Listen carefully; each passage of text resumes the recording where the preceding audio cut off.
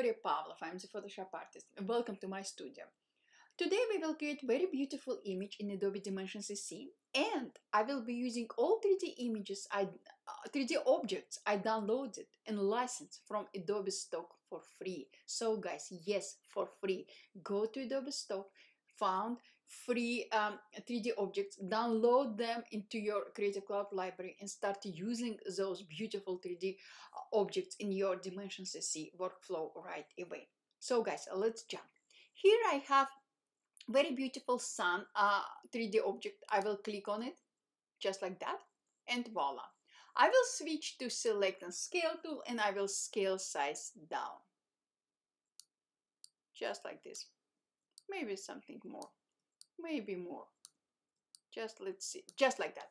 I will switch to select and move tool and I will bring sun um, my sun up and slightly on my distance. Maybe something like this. Here I have another 3D object I would like to work with. I will click on this object on this astronaut and voila. Uh, this object is too big uh, for my project so I will switch to select and scale tool and I will scale size down. Just like that maybe a little bit bigger. Just like that. So what I will do right now guys I will switch to select and move tool I will move it close to the right just like that and I will bring it down. I don't care about um, uh, ground plane because it will be not visible, but I would like to rotate my astronaut. So what I will do, I will switch to select and rotate tool and I will rotate it just like that and now I will zoom in just like this.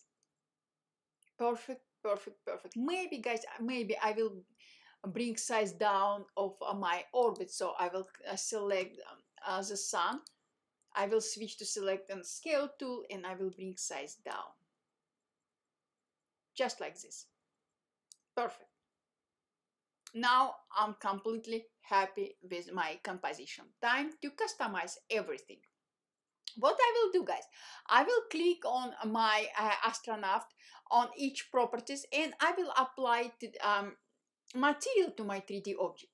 I will switch to um, starter assets and here I have all materials I will work with uh, today. So first of all I will click on fabric and I will click on this very glossy material. What I would like uh, to do I would like to apply all glossy material because glossy material will reflect uh, my sky so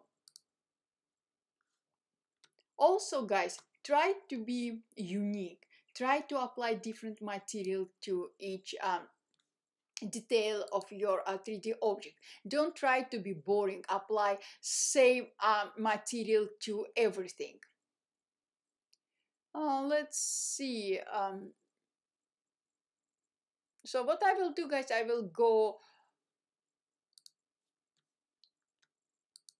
uh, tab by tab to apply different material. So now I will click on pack and here I have gelatin material. So now um, I applied a kind of, a kind of um, transparent uh, material to uh, astronaut backpack and I think it's interesting.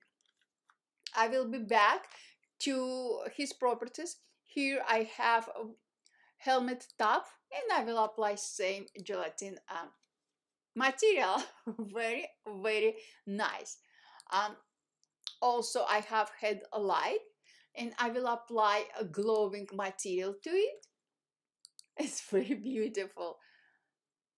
Also, let's go and apply different different materials beautiful beautiful beautiful so what I will do right now guys I will apply I will click on his um, helmet just like that screen of his helmet and I will switch to my libraries I will switch to Adobe Stock license library. Here guys, I have all images I downloaded and licensed from Adobe Stock. You can use any image you like. So here I have one image I would like to use. I will click on it and I will drag into my uh, astronaut helmet uh, screen. I will resize it just like that. And voila. Definitely I can adjust properties, but I will do it later. I will switch back to my uh, scene um, panel. I will click on environment uh, tab and here I will have um, another uh, image I downloaded and licensed from Adobe Stock. I will click on it and drag this image into my document, just like that. Guys, what I can do right now, I can um, click on match image. Let's do it. I will click on match image, just like that, and I will ask Adobe Dimension to match uh, image light. After I will click OK, and voila guys just look at this. First of all i will resize the size of my document just like that. And just look at these guys. Please don't scream. We will adjust. What we will do we will click on environment. We will increase a, light intensity rotation. I will rotate it just to have more light uh, comes out of uh, the sun common sense right? And now guys what i will do I will click on my sun, I will expand, and I will increase glow just like this. Guys, I love this image a lot. I will be back to my scene properties panel. I will click on my um, astronaut.